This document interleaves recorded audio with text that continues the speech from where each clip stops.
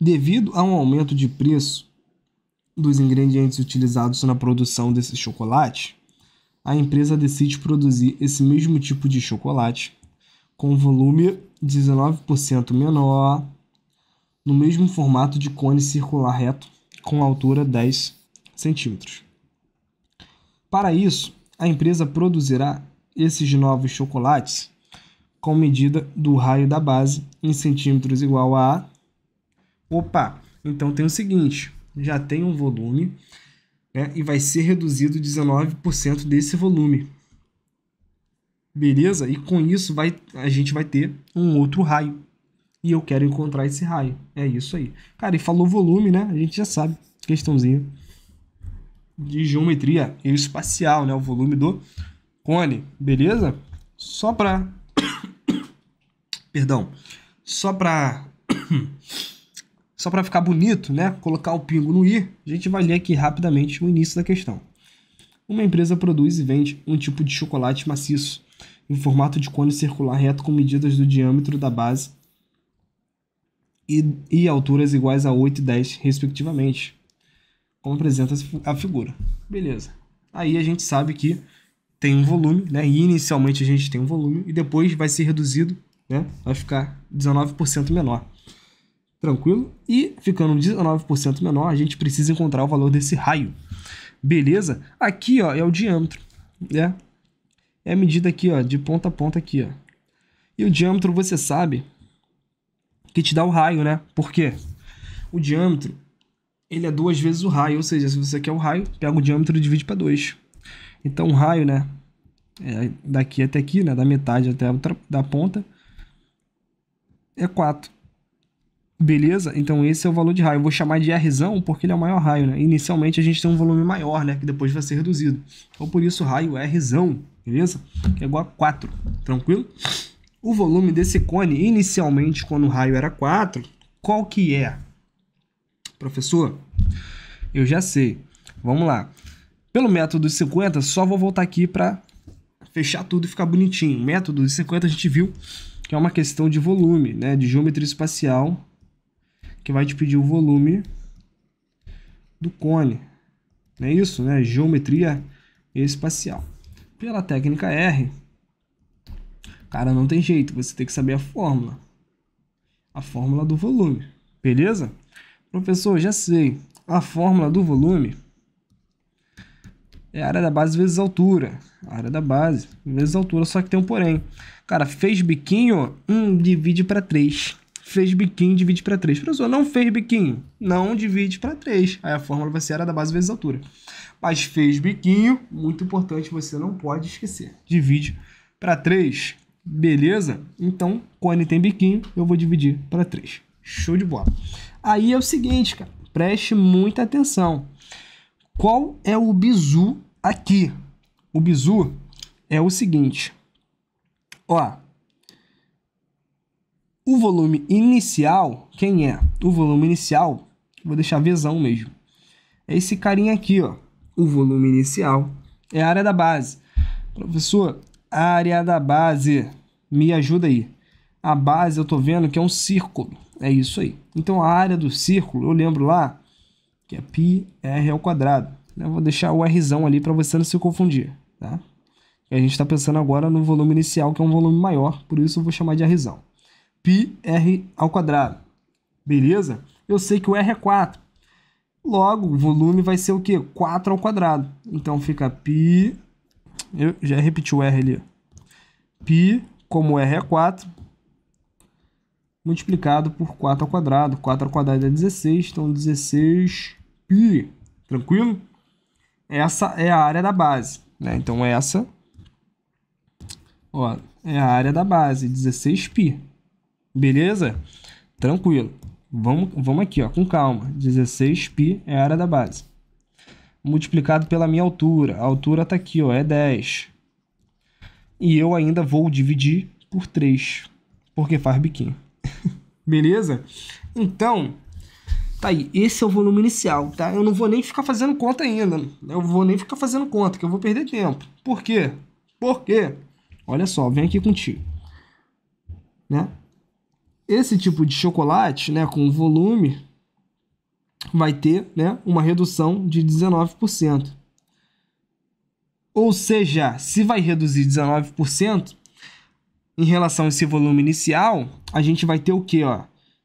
Inicialmente tem 100%. Se você subtrair 19%, fazer uma redução, você vai ter quantos por cento em relação a esse volume inicial? Professor, muito simples.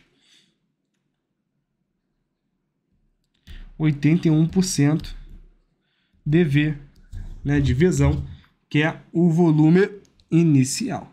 Beleza? Então tá aí, se eu reduzir 19%, eu estou pensando em 81% desse volume inicial, tranquilo? Então, 81% é muito simples, né? Você quando você tem 81%, é o mesmo que você ter 81 sobre 100, né? Quando você tira a porcentagem, você divide para 100. Beleza? Beleza, professor, mas isso de quem? Em relação a quem? Ao volume inicial, né? E a gente até brinca nas aulinhas D, V, né? D dado multiplicou. Então você multiplica por esse volume inicial. Esse volume inicial é quem? É esse cara aqui, ó. Cara, deixa eu até pegar outra caneta. Calma aí. Deixa eu colocar aqui um tchan aqui, ó. Ó. O volume inicial é esse cara aí, ó. Então, ó, 16 π vezes 10 sobre 3. Olha que bonito, né? Isso vai ter que ser igual, né? O, o, o novo volume, né? O novo volume, né? Que vai ter aquele novo raio, que eu vou chamar de Rzinho agora. Aqui, deixa eu até anotar aqui, ó. Ele fala pra gente, né? Que vai ter um raio, né? Da base. E esse raio aqui, cara, eu batizei ele carinhosamente de Rzinho. A gente precisa encontrar esse novo raio aí, né? O Rzinho, cadê você? É, eu vim aqui só para te ver, beleza? Então, professor, pela formulazinha do volume, a área da base é π r ao quadrado. Agora é rzinho, né? Agora é rzinho. Então, a área da base, π r ao quadrado que multiplica pela altura. A altura quem é? A altura é a mesma. A altura é a mesma, o volume que foi reduzido. Tranquilo? Dividido para 3 também. Fez biquinho, divide para 3, né? Ainda continua tendo bico, então você ainda vai continuar dividindo para 3. Beleza? Agora, por que eu fiz assim? Olha que bonito. Olha que bonito. Você não vai acreditar. Porque está multiplicando, tudo está multiplicando. Olha que lindo. Se tem aqui nos dois lados, você pode cortar, tá bom? Então passa o facão, ó. passa o facão. Ó, passei facão no 10 e no 3 e no pi também, ó. Pi de um lado e pi do outro. É, vai embora. Ah, professor, por que isso? É, porque se você fosse passar esse pi, por exemplo, tá aqui pro outro lado, ele ia dividindo, você ia ter pi dividido para pi, né? Passa o facão, filho. Beleza? Fechou. Então, quem é o Rzinho ao quadrado? Então, só sobrou esse aqui, ó. Rzinho ao quadrado é igual a esse carinha aqui, ó. Só sobrou isso aí. Então, vamos lá. Rzinho ao quadrado é igual a quem? É igual a 81, que multiplica com 16. Isso tudo dividido para 100. Olha que bonito. Eu vou passar aqui, ó. Vai para o outro lado em forma de raiz quadrada. Então, raiz quadrada, aqui a gente vai aplicar as propriedades, hein? Você está em dia com matemática básica. Beleza? Eu já vou colocando aqui no esquema, né? Porque você já sabe, né? Se eu coloco uma raiz grandona ali, eu posso fragmentar, né? Posso colocar raiz de 81 e raiz de 100, né? Eu fragmentei essa raiz. Posso? Posso, a propriedade me permite. E como aqui também ainda está multiplicando, você sabe que na, na multiplicação você também pode fragmentar. Então você vai ficar aí, ó, com raiz de 16. Tranquilo? Beleza? Isso é igual a quem? Professor, eu já sei. Raiz de 81 é 9. É 9 ao quadrado é 81. Então você vai ficar com 9. Que multiplica quem? Raiz de 16. Raiz de 16 eu já sei, professor. É 4. Porque 4 ao quadrado é 16. Dividido por quem? Professor, raiz de 100 eu já sei. Porque 10 ao quadrado é 100. Acabou. Então esse é o Rzinho. O Rzinho quem é, filho? 10 que multiplica com 4, que é 36, dividido para 10. Dividir por 10 é voltar uma casa para trás da vírgula. Então fica 3,6. Tranquilo? Então esse é o nosso Rzinho. Beleza? Questãozinha aí muito boa de volume. E o seu gabarito é letra C. Beleza? E para você que quer continuar aprendendo métodos iguais a esse, a gente está aqui ó, com o intensivão do Enem 2023. É isso aí. Para você que quer continuar aprendendo, beleza? A gente ainda vai continuar. Tem mais questõezinhas nessa aula, tá bom? Mas vou separar esse momento aqui para você que quer continuar aprendendo, quer aprender né? mais métodos iguais a esse. No intensivão, você vai ter acesso ao módulo de matemática básica, tá? Módulo de proporções, funções, equações e inequações, estatística, né, progressão aritmética, progressão geométrica, princípios de contagem, né, o que é, ou análise combinatória, módulo de probabilidade, de geometria, tabelas e gráficos, matemática financeira. E você ainda tem o suporte, cara. Suporte tira dúvidas do aluno. Fiquei com alguma dúvida na aula, cara. Fiquei com alguma dúvida em questão. Cara, você não está sozinho. Aí você pode falar com a gente pelo o suporte tira dúvidas ao aluno, beleza? Professor, eu estou interessado, né? Eu quero o Intensivão Enem 2023. Beleza? Eu quero o intensivão. Cara, tá muito barato, tá bom? O intensivão, se você fosse somar, né, todos os valores que estão aqui, todos os valores que estão aí, você ia chegar aqui, ó, 1706, tá bom? Mas não se preocupe, porque hoje a gente está com uma promoção, tá?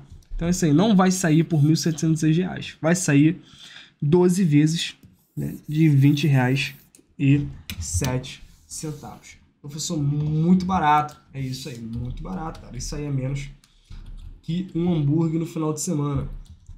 Isso é menos que um hambúrguer no final de semana, não é verdade? Eu sei que você gasta mais né, no final de semana. É, então, cara, invista em você. Aí você não vai se arrepender. Professor, eu quero pagar à vista, não quero parcelar. Posso? Opa, volta aqui. Posso? Pode pagar à vista. Vai, à vista vai sair à vista vai sair 199,90. Então, quero pagar à vista, você vai pagar 199,90, né? Você vai ter mais desconto ainda. Beleza? Valor muito barato, cara. Invista em você. Né? Educação, cara. Investir na educação, você nunca vai se arrepender. Pode ter certeza disso.